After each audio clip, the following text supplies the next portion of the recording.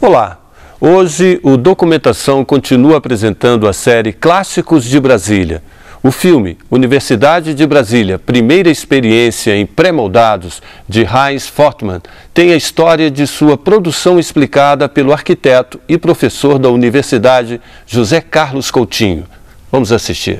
A universidade começou a funcionar depois, logo imediatamente a sua criação, no prédio do Ministério da Educação, na esplanada dos ministérios. E precisava urgentemente de instalações para abrigar os cursos já criados.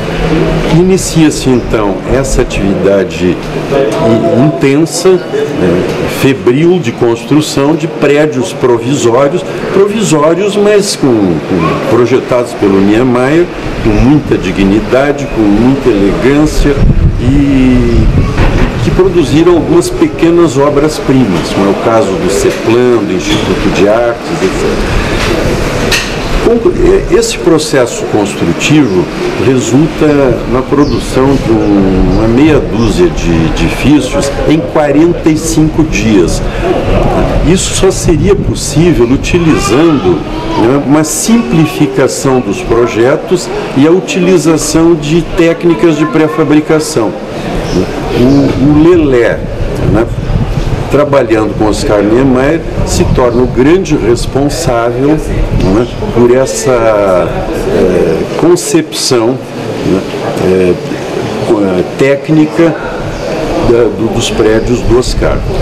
Bom, o, essa atividade rotineira é documentada por uma figura que tem que ser lembrada, professor Heinz Fertmann, ou Fortmann, era tratado né, informalmente, que eh, sendo, eh, tendo sido trazido para Brasília pelo Darcy Ribeiro, que ele era o cineasta do Darcy Ribeiro, que o acompanhava nas expedições ao Xingu e né, nos seus levantamentos antropológicos. O Heinz Fertzmann é trazido para cá e aproveita por sua conta é, para documentar essa, todas as etapas dessa construção muito mais tarde, e esse material nunca tinha sido utilizado, muito mais tarde, em 1968, um, portanto, uns seis ou sete anos depois, esse material é descoberto pelos professores da, da arquitetura, graças ao professor Fisberg, que é, veio né, nessa segunda leva de professores, veio de São Paulo exatamente, que se interessou por esse material o, o professor uh, Furtman, ele cede uh, aos apelos, à insistência e tem uma ideia muito interessante.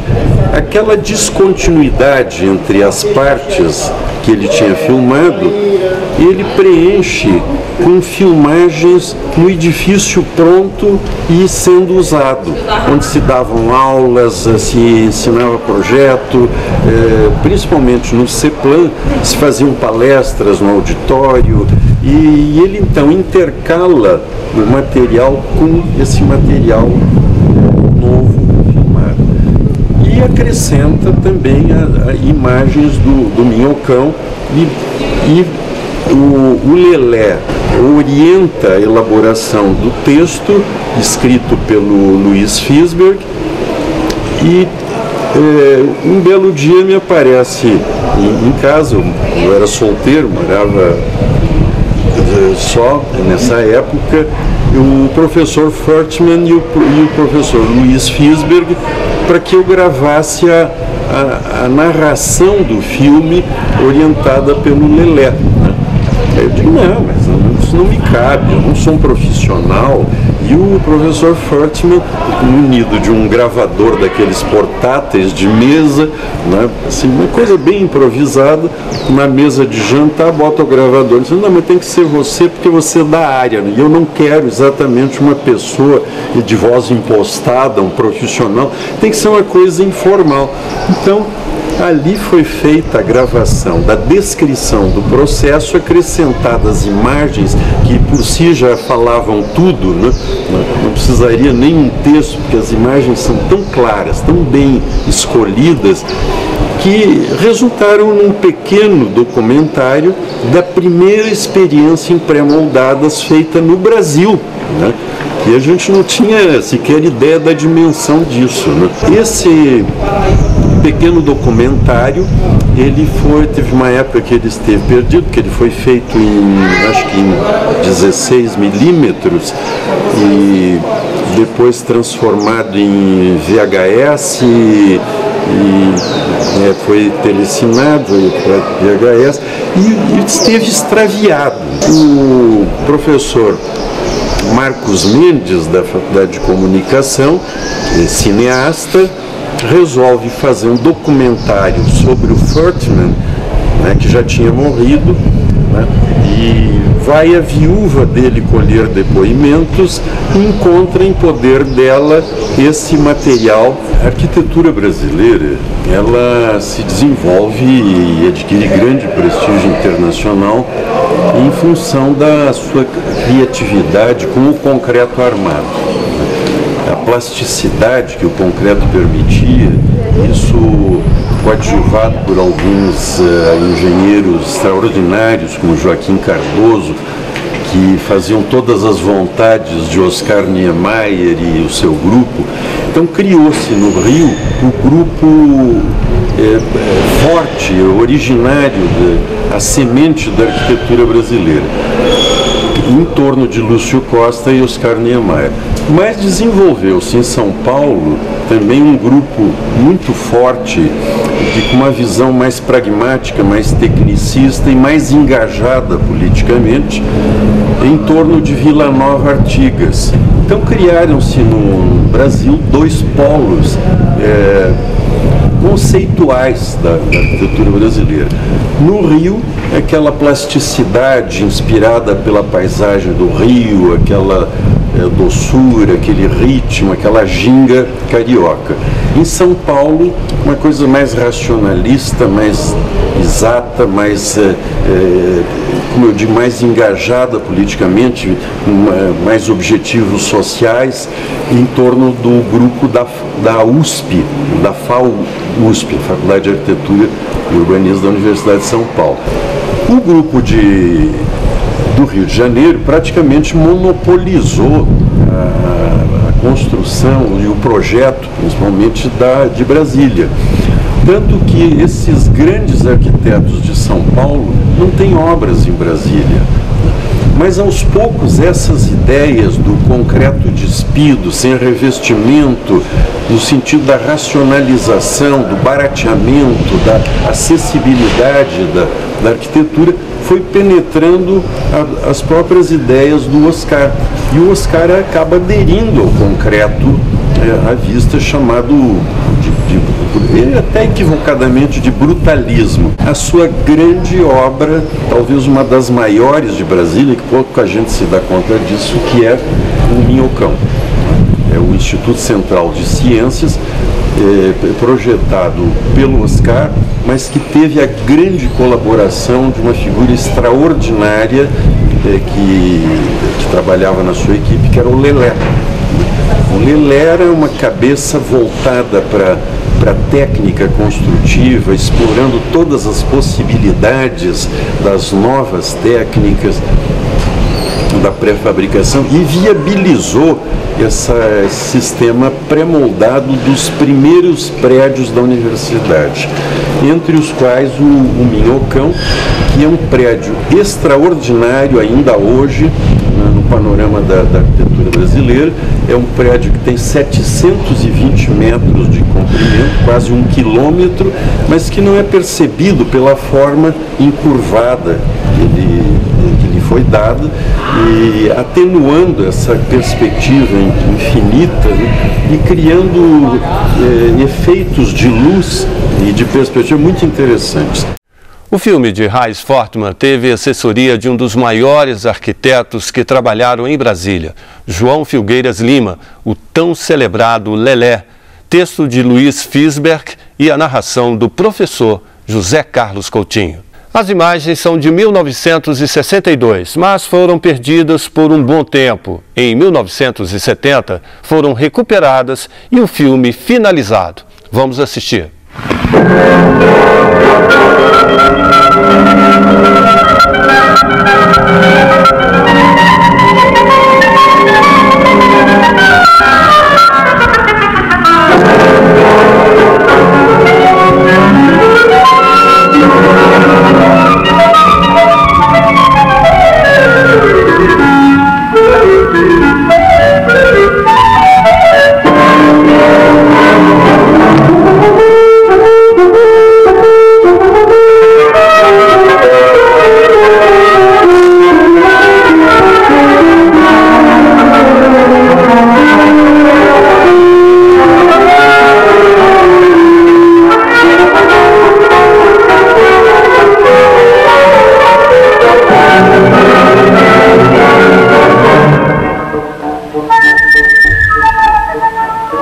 Da Universidade de Brasília, situado em local privilegiado do setor norte da cidade, desde sua fundação, vem sendo construído visando atender suas necessidades.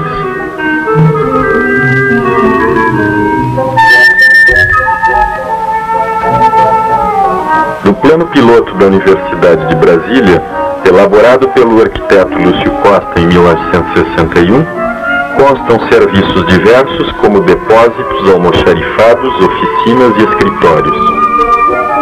Os edifícios desta natureza foram previstos no setor norte do campus.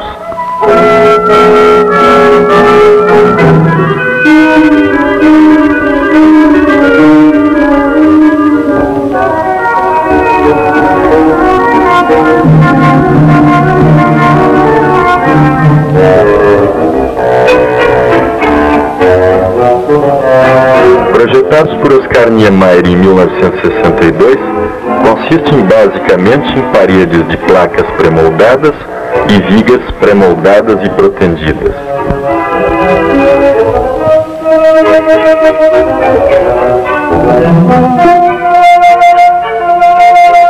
A associação contínua das placas constitui um muro-parede que envolve todo o conjunto.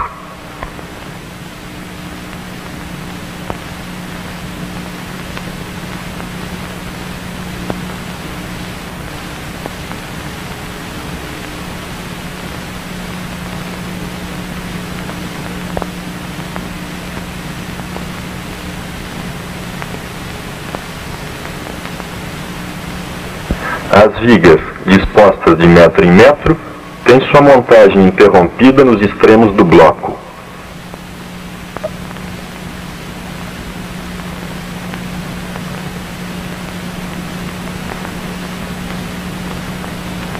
Em uma parte central do edifício não levam recobrimento. Criam-se assim jardins internos. Os espaços internos são inteiramente livres podendo ser divididos com elementos leves e modificados facilmente. As instalações hidráulicas se desenvolvem em paredes de alvenaria, servindo a copas e sanitários. Os acessos são feitos por meio da eliminação de uma das peças.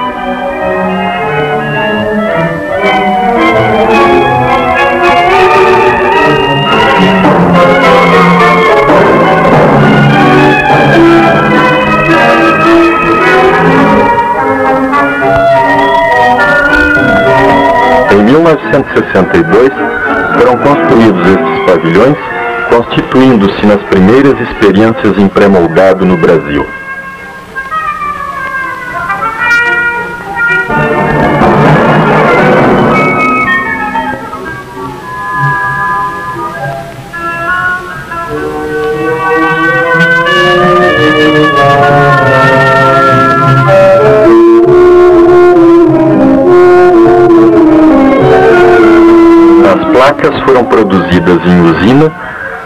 Em formas de madeira compensada, por dez vezes reaproveitadas.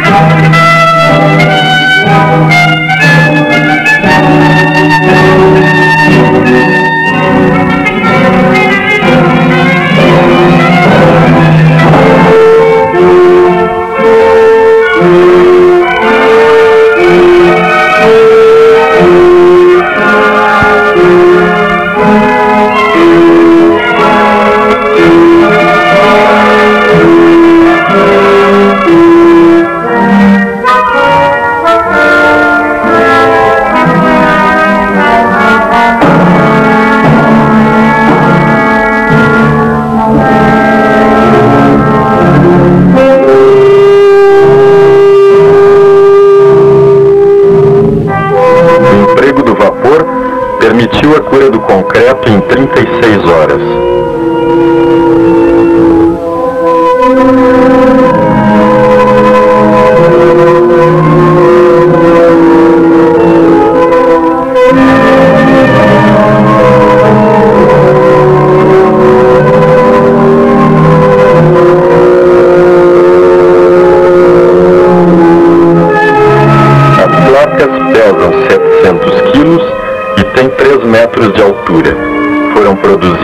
949 unidades.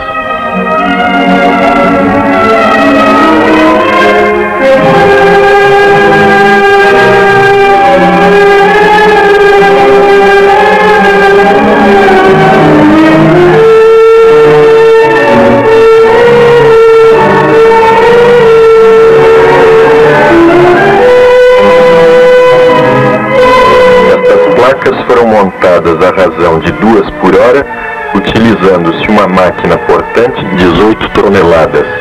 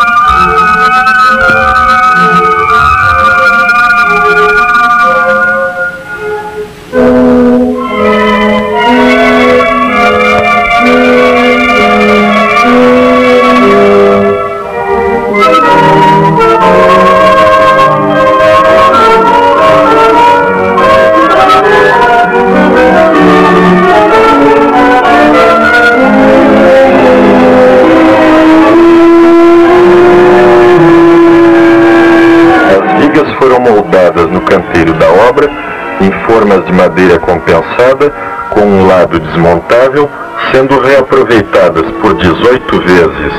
A completagem média foi de 72 horas.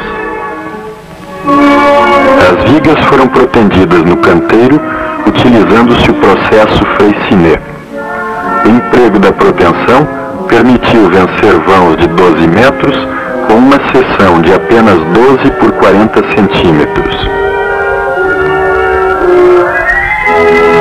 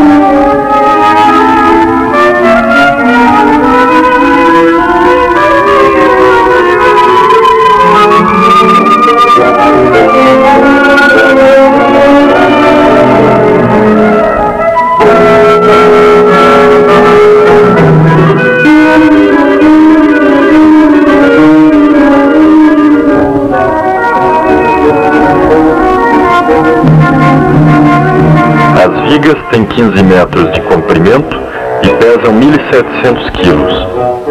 Foram produzidas 424 unidades. Usando o mesmo equipamento utilizado na montagem das placas, as vigas foram montadas à razão de uma por hora. Vence em um vão de 12 metros com balanços simétricos.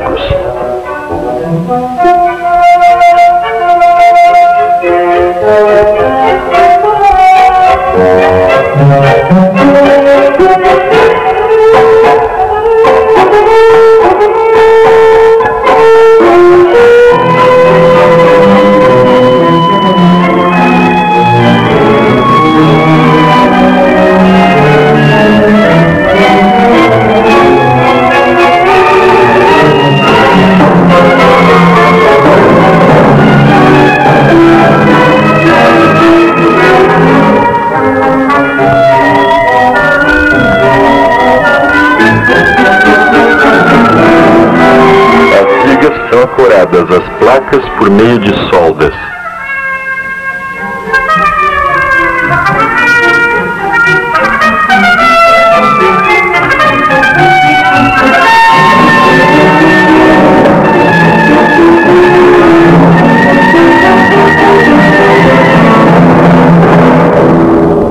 A cobertura foi realizada em chapa plana de alumínio, cortada e dobrada no canteiro.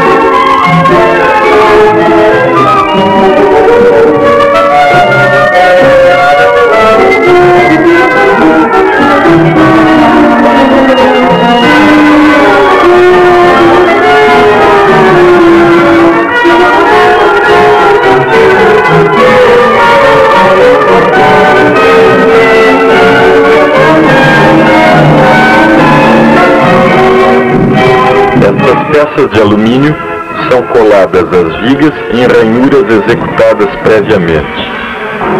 São recobertas com uma película de material plástico a fim de assegurar melhor isolamento térmico.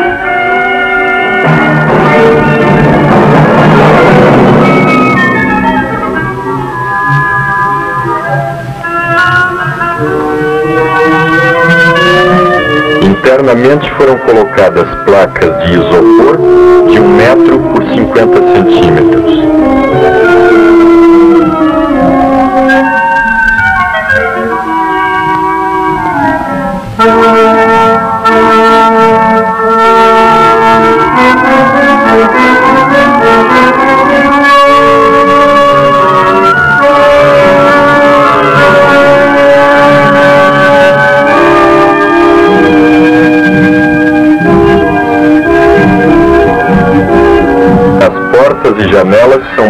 Basculantes com sistema de contrapeso.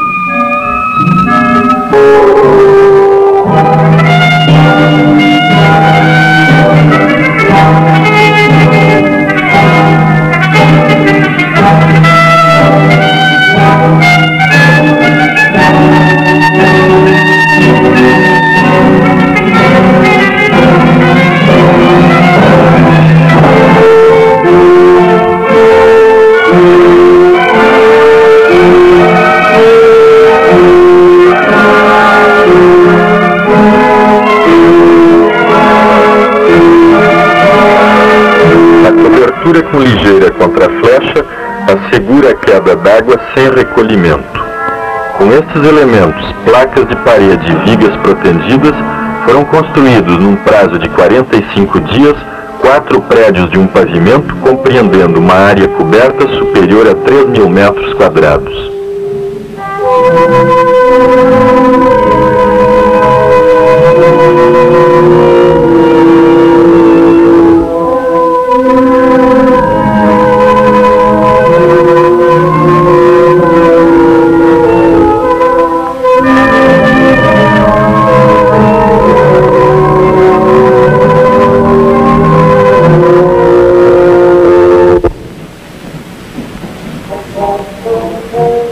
Centro de Planejamento Urbanístico, CEPLAN, criado em 1962 com a responsabilidade dos projetos dos edifícios da universidade, se acha ainda hoje aí localizado.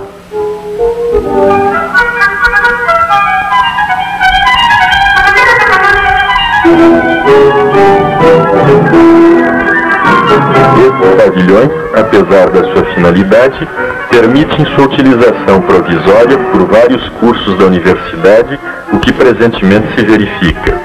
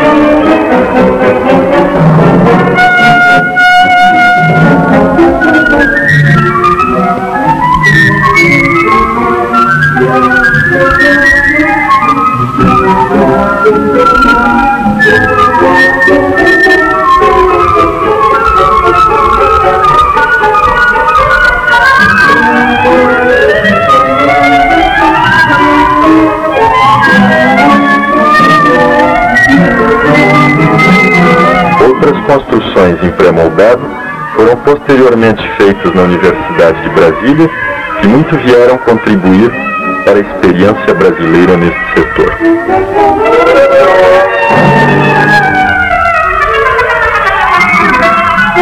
Bom,